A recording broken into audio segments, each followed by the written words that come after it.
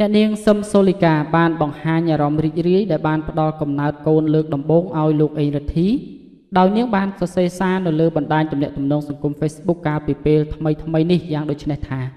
អរគុណសន្តិភាព មានដំណឹងល្អជំរាបអ្នកម្ដាយអ្នកម្ដាយបានចៅទុនសាយផឹកទឹកសន្សើមមួយហើយ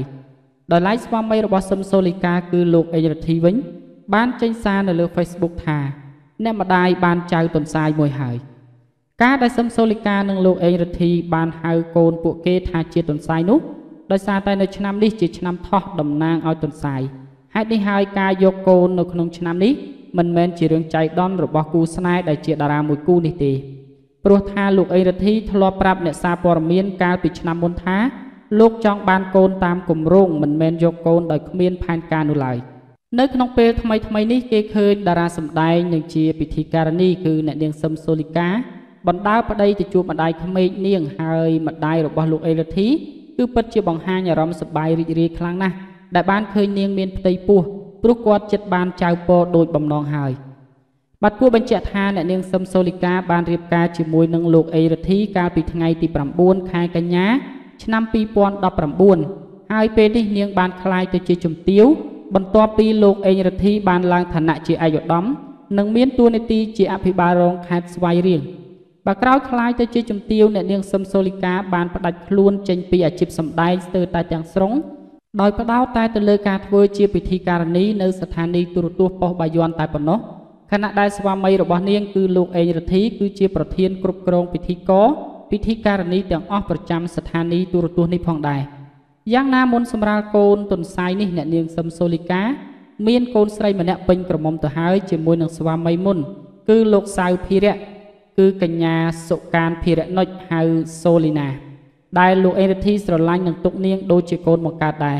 សម្រាប់ការទទួលបានចំណងដៃកូនទី2នេះប្រកាសណាស់ថានឹងធ្វើឲ្យបំណងស្នេហារបស់សឹមសូលីកានិងលោកអេរិទ្ធីគឺកាន់តែរឹងមាំបន្ថែមទៀតជាមិនខានគួរកត់សម្គាល់ថាក្រៅពីសឹមសូលីកាតារាដែលជ្រើសរើសគូស្នេហ៍ជាអ្នកសិល្បៈដូចគ្នា មានដូចជាអ្នកនាងយុធរដ្ឋាអ្នកនាងពេជ្រសោភាអ្នកនាងប៉ាចកមួយអ្នកនាងទេពបុព្រឹក អ្នកនាងម៉ានីកាអ្នកនាងសែមឆូវីនិងអ្នកនាងកុលដាវីជាដើមដោយឡែកសម្រាប់តារា និងអតីតតារាដែលក្លាយជាជំទាវផ្សេងផ្សេងទៀតក្រៅពីសឹមសូលីកា គឺមានដូចជាអ្នកនាងស្រីតូចចំណានអោកបូរីបច័ន្ទបូរមីនៅសូនីតាផាន់ម៉ូនីកា និងអឹមសុគន្ធាជាដើមប្រភពបានប្រាប់ឲ្យដឹងថាអ្នកនាងសឹមសូលីកាពេលនេះគឺផ្ដោតតែទៅលើការចំណាយក្នុងការថែទាំគួរក្នុងផ្ទៃរបស់នាងឲ្យបានល្អ ហើយនាងត្រូវបានលោកអេងរទ្ធីស្រឡាញ់ថ្នាក់ធ្នមកាន់តែខ្លាំងខណៈដែលមិនទាន់បានសម្រាលកូនផងប៉ុន្តែមានតារារួមអាជីពចេញសារអបអរសាទរនាងជាបន្តបន្ទាប់ផងដែរគេជឿថាក្រោយសឹមសូលីកាសម្រាលកូនទី2នេះ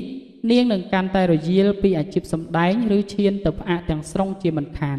ដើម្បីឲ្យស័ក្តិសមទៅនឹងតំណែងជាជំទាវរបស់នាងព្រោះថាពេលនេះនាងក៏ត្រូវបានគេចាត់ទុកថាជាសេដ្ឋីម្នាក់នៅក្នុងពិភពសិល្បៈដែរ ដោយរស់នៅក្នុងផ្ទះវិឡាធំស្កឹមស្កៃនៅបូរីពេញហួតបឹងស្នោនិងជិះរថយន្តទំនើបទំនើបជាច្រើនគ្រឿងឆ្លាស់គ្នាអ្នកនាងសឹមសូលីកាបានចេញសារប្រាប់ទៅហ្វេនហ្វេនរបស់នាងកាលពីពេលថ្មីថ្មីនេះថាទារកនៅក្នុងផ្ទៃរបស់នាងទើបតែមានអាយុ7សប្តាហ៍តែប៉ុណ្ណោះតែនាងបានដាក់ឈ្មោះកូនរួចជាស្រេចទៅហើយដោយយកឈ្មោះនាងផ្គូបជាមួយនឹងស្វាមី គឺលោកអេងរិទ្ធីដោយនាងដាក់ឈ្មោះថារិទ្ធីកា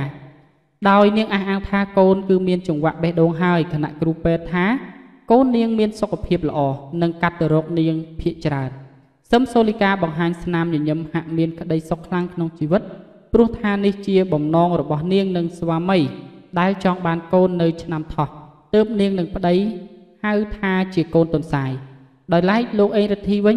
លោកមិនទាន់បានឆ្លើយតបតាមសំណួររបស់អ្នកសារព័ត៌មាន នៅឡើយតែមុននេះ លោកបាននាំសឹមសូលីកាទៅជួបម្ដាយរបស់លោក ហើយម្ដាយក្មេកសឹមសូលីកា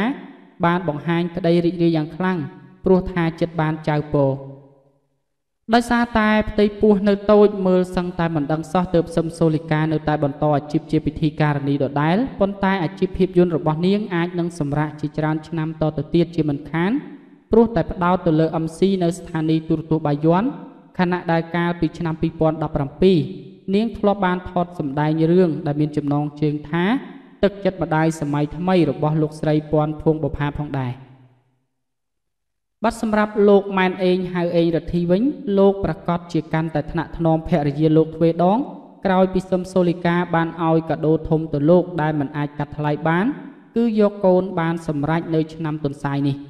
បាទគួររំលឹកផងដែរថាសឹមសូលីកាបានចែកផ្លូវគ្នាជាមួយនឹងអតីតប្តីដែលមានឈ្មោះថាសៅភិរៈ ដោយបន្សល់ចំណងដៃកូនស្រីម្នាក់ឈ្មោះថាសុកានភិរៈនុចហៅសូលីណា ហើយនាងក៏បានប្រឆាស្នេហ៍ជាមួយនឹងលោកទឹកថាវរិទ្ធផងដែរទើបងាកមកភ្ជាប់ស្នេហ៍ថ្មីជាមួយនឹងលោកអេងរិទ្ធីនិងរៀបការកាលពីថ្ងៃទី9ខែកញ្ញាឆ្នាំ2019និងបានក្លាយទៅជាជំទាវខណៈដែលពេលនេះលោកអេងរិទ្ធីគឺមានតួនាទីជាប្រធានពិធីករនៅស្ថានីយទូរទស្សន៍ប៉ុស្តិ៍បាយ័ននិងជាអភិបាលរងខេត្តស្វាយរៀង។ តាមគម្រោងសឹមសូលីកានឹងសម្រាលកូននៅដើមឆ្នាំ2024ខាងមុខហើយការទទួលបានកូននាពេលនេះនឹងធ្វើឲ្យចំណងស្នេហាគូស្នេហ៍ដែលជាតារាមួយគូនេះគឺរឹតតែរឹងមាំថែមទៀតជាមិនខាន ដោយឡែកក្រៅពីសឹមសូលីកាតារានិងអតីតតារាដែលបានក្លាយជាជំទាវរួមមានដូចជាអ្នកនាងស្រីតូចចំណានអុកបូរីប្រច័ន្ទបរមីផាន់ម៉ូនីកាអឹមសុគន្ធា និងនៅសូនីតាជាដើម សឹមសូលីកាត្រូវបានគេចាត់ទុកនាងថាជាពិធីការនីម្នាក់ដែលមានទ្រព្យសម្បត្តិមហាសាល រស់នៅក្នុងផ្ទះវិឡាដ៏ធំស្កឹមស្កៃនិងជិះរថយន្តទំនើបជាច្រើនគ្រឿងតារារួមអាជីពបានហៅនាងថាជំទាវជំទាវនិងលើកដៃសំពះនាងនៅតាមបណ្ដាកម្មវិធីអ្នកសិល្បៈទាំងឡាយប្រភពបានប្រាប់ឲ្យដឹងថាសឹមសូលីកាមានភាពកក់ក្ដៅក្នុងចិត្តយ៉ាងខ្លាំងនៅពេលដែលស្វាមីថ្មីរបស់នាងគឺលោកអេងរទ្ធី ស្រឡាញ់និងទុកកូនស្រីរបស់នាងដូចជាកូនបង្កើតរបស់លោកដែរហេតុនេះហើយការទទួលបានកូនម្នាក់ទៀតដែលជាដំណក់ឈាមរបស់លោកអេងរទ្ធីនេះច្បាស់ជាលោកទុកនាងស្មើនឹងកែវភ្នែករបស់លោកជាមិនខានអ្វីដែលគួរឲ្យកត់សម្គាល់នោះអតីតស្វាមីរបស់សឹមសូលីកាគឺលោកភិរៈនិងលោកអេងរទ្ធីបានរាប់អានគ្នាដូចជាមិត្តភក្តិព្រោះពេលភរិយាថ្មីអតីតប្តីសូលីកាសម្រាលកូនលោកអេងរទ្ធីនិងប្រពន្ធក៏បានយកកាដូទៅជូនទៀតផង លោកអេងរទ្ធីធ្លាប់ប្រាប់អ្នកសារព័ត៌មានថាលោកនិងភរិយាចង់បានកូនទៅតាមគម្រោងច្បាស់លាស់មិនមែនយកកូនដោយចៃដន្យនោះទេដោយឡែកតកតងជាមួយនឹងការថតភាពយន្តរបស់ភរិយាលោកវិញលោកថានឹងគោរពទៅតាមការសម្រេចចិត្តរបស់នាងជានិច្ចខណៈដែលរូបលោកនៅតែស្រឡាញ់អាជីពចាស់តែគ្មានពេលគ្រប់គ្រាន់បាក់ក្រោយពេលសឹមសូលីកាឡើងងារជាជំទាវនេះនៅតាមបណ្ដាកម្មវិធីនាងបង្ហាញខ្លួនខ្លះ គេឃើញមានអង្គរៈបើករថយន្តជូននាងដូចជាជំទាវផ្សេងផ្សេងទៀតដែរដែលធ្វើឲ្យអតិពលរបស់នាងគឺរឹតតែលេចត្រដែតនៅក្នុងពិភពសិល្បៈបើទោះបីជានាងផ្អាកថតសម្ដែងជាច្រើនឆ្នាំមកហើយនឹងក្តាប់តែ MC នៅស្ថានីយ៍ទូរទស្សន៍បាយ័នតែមួយច្រកក្តីបានអ្នកជំនាញសិល្បៈបានលើកឡើងថាពេលនេះសឹមសូលីកានិងលោកអេងរទ្ធីកំពុងតែលើកមុខគ្នាទៅវិញទៅមកហេតុនេះប្តីប្រពន្ធមួយគូនេះច្បាស់ជារក្សាចំណងស្នេហាបានយូរអង្វែង បាទសម្រាប់ព័ត៌មានសិល្បៈនេះខ្ញុំបាទសូមបញ្ចប់ត្រឹមតែប៉ុណ្ណេះបាទសូមគោរពជូនពរនិងអរគុណប្រិមិត្តពុកម៉ែបងប្អូនទាំងអស់គ្នាដែលបានចំណាយពេលតាមដានស្ដាប់និងទស្សនាព័ត៌មាននេះតាំងពីដើមរហូតមកដល់ចប់